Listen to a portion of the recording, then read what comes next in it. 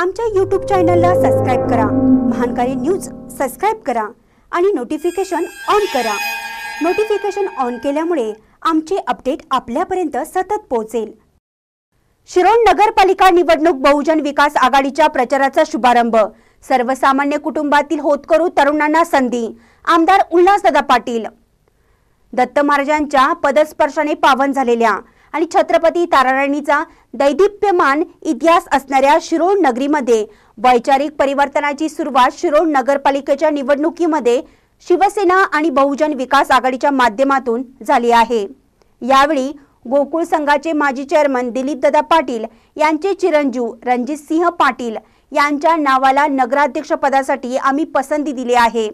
असे उद्गार आमदार उल्हास पाटील यांनी काढले. शिरोळ नगरपालिका निवडणुकीसाठी मैदानात उतरलेल्या शिरोळ बहुजन विकास आघाडीच्या प्रचाराचा शुभारंभ आज आमदार उल्हासदादा पाटील आणि बहुजनांचे नेते दिलीपदादा पाटील यांच्यासह आघाडीच्या उमेदवारांच्या प्रमुख उपस्थितीत करण्यात आला. यावेळी आमदार उल्हासदादा पाटील बोलत होते. ते पुढे म्हणाले शिरोळ नगरपालिकेची निवडणूक सुरू आहे. त्यामुळे शिरोळ मतदार गावाच्या विकासाच्या दृष्टीने कोण कोण पुढाकार घेतोय हे पाहत आहे. समाजातल्या तळागाळातल्या सर्वसामान्य कुटुंबातील होतकरू युवकांना बहुजन विकास आघाडीच्या माध्यमातून संधी दिली आहे. शिरोळ गावाला क्रांतीची परंपरा आहे. प्रत्येक टपानंतर क्रांतीची सुरुवात होते. ज्या पद्धतीने माझ्यासारख्या सर्वसामान्य कुटुंबातील एकाला लोकवर्गणी गोळा करून महाराष्ट्राच्या विधानसभेच्या सभागृहात नेतृत्व करण्याची संधी दिली तशी संधी बहुजन विकास आघाडीने होतकरू युवकांना दिली आहे. तालुक्यातील जनतेच्या विश्वासाला पात्र राहून मी तालुक्यात कोट्यावधी रुपयांचा निधी आणला. ज्याप्रमाणे सर सर्वोत्कृष्ट काम गेल्या चार वर्षात मी केलं आहे तशाच पद्धतीचे काम या मंडळीच्या माध्यमातून व्हावे अशी अपेक्षा आमदार उल्हास पाटील यांनी व्यक्त केली. लवकरच आमच्या आघाडीचा जाहीरनामा आणि गावच्या विकासासाठी आमचा वचननामा प्रसिद्ध करणार आहोत असे सांगून सध्या शिरोळमध्ये काही ठिकाणी दबाव वेगवेगळी आमिषे फसवा फसवीचे षडयंत्रांचे राजकारण सुरू आहे. मात्र दत्त महाराजांच्या पंढरीत अशा लोकांना जनताच धडा शिकवल्याशिवाय राहणार नाही असा ठाम विश्वास आमदार पाटील यांनी व्यक्त केला. शिवसेनेचे आमदार उल्हासदादा पाटील आणि बहुजन विकास आघाडीचे नेते आणि गोकुळ संघाचे माजी चेअरमन दिलीपदादा पाटील यांच्या नेतृत्वाखाली बहुजन विकास आघाडी झाली आहे. शिरोळ शहर तसेच शिरोळ तालुक्याच्या विकासात दोन्ही नेत्यांचे मोठे योगदान आहे. शहराचा समतोल विकास करण्याच्या मुद्द्यावर आम्ही मतदारांकडे कौल मागणार आहोत अशी भूमिका आघाडीच्या वतीने स्पष्ट करण्यात आली. यावेळी प्रभागातील मतदारांशी गाठीभेटी घेण्यात आल्या. महानकारी न्यूजसाठी शिरोळहून संदीप इंगळे.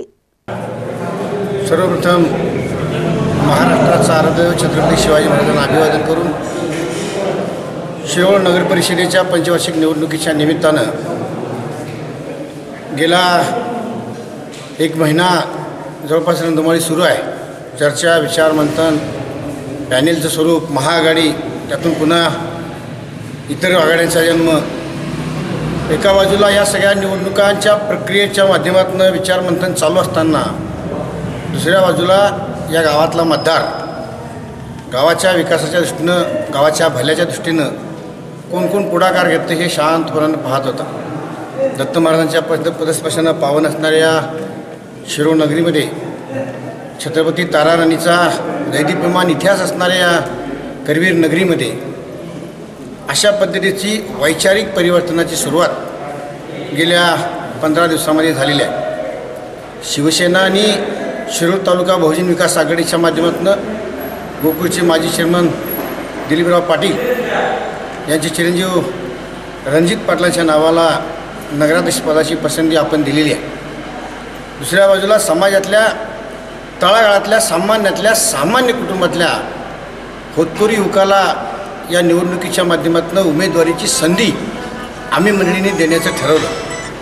पहिल्यांदा अशा पद्धतीचा प्रयोग आम्ही मंडळीने केलेला आहे.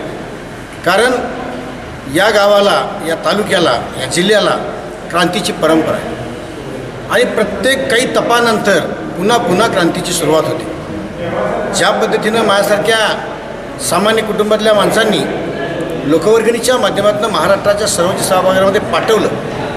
आणि ज्या पद्धतीचं काम गेल्या चार वर्षामध्ये उभं राहिलेलं आपल्याला दिसतं आहे तशाच पद्धतीचं काम या मंडळींच्या माध्यमातून सुद्धा व्हावं अशा पद्धतीची अपेक्षा शिरोळातल्या सामान्य मतदारांची निश्चित असणार आहे.